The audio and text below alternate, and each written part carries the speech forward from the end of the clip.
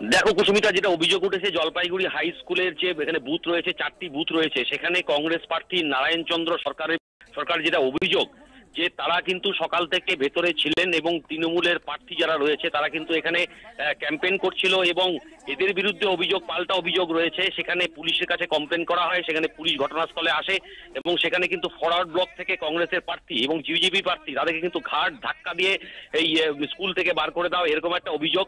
পাশাপাশি কংগ্রেসের তরফে অভিযোগ করা হয়েছে, সেখানে তৃণমূলের যে প্রার্থী রয়েছে, তার যে অনুগামী যারা রয়েছে, তারা কিন্তু ভেতর থেকেই সরকারি ক্যাম্পেইন করছিল।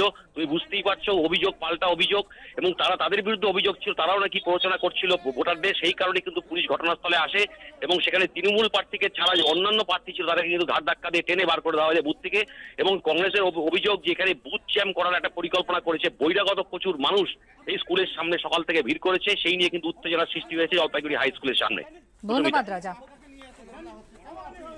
কান্দি পুরসভার ছ নম্বর ওয়ার্ডের ছবি, এবার দেখব যেখানে বহিরাগত ঢোকার অভিযোগে রীতিমতো ধুন্ধুমার বাঁধল তৃণমূল প্রার্থীর সঙ্গে নির্দল প্রার্থীর অনুগামীদের হাতাহাতি পরিস্থিতি নিয়ন্ত্রণের চেষ্টা করছে পুলিশ।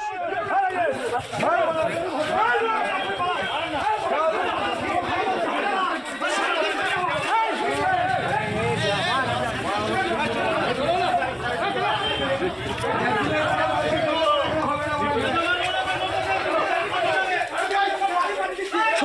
চলছে। ছয়ে অ্যাকশন চলছে, গুরুপদ স্কুলের সামনে। হ্যাঁ মারামারি চলছে ছয়ে। ছবি করছি ছবি করছি ছবি করছি। তুমি তাড়াতাড়ি তাড়াতাড়ি তাড়াতাড়ি। কিছুক্ষণ আগেই আমরা আপনাদের এই ছবি দেখিয়েছিলাম। বারাসাত সাত নম্বর ওয়ার্ডে যেখানে একজন বিজেপি প্রার্থী, তিনি ইভিএম আছাড় মেরেছেন এবং বুথে ঢুকে তাণ্ডব চালিয়েছেন। সাত নম্বর ওয়ার্ডে অভিযোগ যা উঠছে, চন্দনপুর অবৈতনিক প্রাথমিক বিদ্যালয়ের সাতের এক নম্বর বুথে বিজেপি প্রার্থী শ্যামলী দাশগুপ্তর এজেন্টকে বসতে দেওয়া হয়নি এবং সেই রাগেই বিজেপি প্রার্থী আছাড় মেরে ইভিএম ভেঙে দেন। দফায় দফায় উত্তেজনা ছড়ায় আমাদের প্রতিনিধি ব্রতদীপ ভট্টাচার্য রয়েছেন আমাদের সঙ্গে। ব্রতদীপ, কিছুক্ষণ আগে সেই ছবি আমরা সরাসরি দেখেছিলাম। এই মুহূর্তে কি পরিস্থিতি?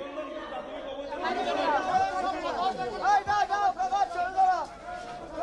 দেখো, এখনও কিন্তু দফায় দফায় এখানে উত্তেজনা তৈরি হচ্ছে।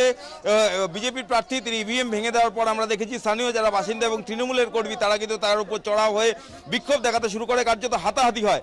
তারপর পুলিশ তাকে উদ্ধার করে নিয়ে যায় এবং তারপরেও স্থানীয়রা যারা তৃণমূলের কর্মী রয়েছেন, তাদের অভিযোগ যে একাধিক বহিরাগত এখানে যারা বিজেপির হয়ে এখানে এসেছিলেন, তাদের উপরেও চড়াও হয় এবং তাদেরকে পুলিশের হাতে তুলে দেওয়া হচ্ছে এবং দেখতে পাচ্ছে এখন কিন্তু প্রচুর পুলিশ এখানে মোতায়েন রয়েছে এবং তারা কিন্তু সেই ভিড় ছত্রভঙ্গ করার চেষ্টা করছে যাতে এখানে নতুন করে আর কোনো উত্তেজনা তৈরি হয়।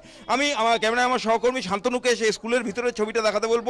ইভিএম মেশিনের যে কন্ট্রোল ইউনিট সেটাকেই কিন্তু কার্যত যে বিজেপি প্রার্থী শ্যামলী দাশগুপ্ত, তিনি কিছুক্ষণ আগে এই বুথে ঢুকে সাতের এক নম্বর বুথে ঢুকে ভেঙে দিয়ে যান। এবং তার জন্য তুমি দেখতে পাচ্ছ, এখন কিন্তু ভোটারদের লাইন, তারা কিন্তু অপেক্ষায় রয়েছেন। ভোট প্রক্রিয়া একেবারে বন্ধ রয়েছে। আমি বুথের ভিতরে ছবিটা একটু দেখাবো, শান্তনুকে বলব। ভিতরে আসতে এখনও সেই ইভিএম মেশিনটা ভাঙা অবস্থাতেই পড়ে রয়েছে।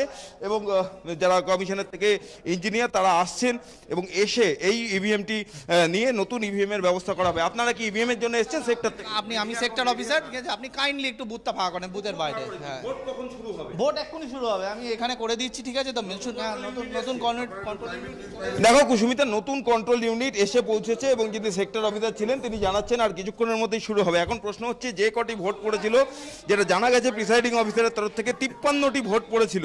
এবং যেটা সেক্টর অফিসার জানিয়েছেন কিছুক্ষণ আগে যে যে ভোট ওই ভাঙা কন্ট্রোল ইউনিটে রয়েছে, সেগুলো তাতেই থাকবে। নতুন কন্ট্রোল ইউনিটে আবার পরবর্তী যে ভোটগুলো নেওয়ার, সেগুলো নেওয়া হবে। এখন স্থানীয়রা দাঁড়িয়ে রয়েছেন, যারা ভোটাররা, এলাকায় দফায় দফায় উত্তেজনা তৈরি হচ্ছে এবং পুলিশ সেই উত্তেজনা সামাল দেওয়ার চেষ্টা করছে। কুসুমিতা। ধন্যবাদ ব্রতদীপ।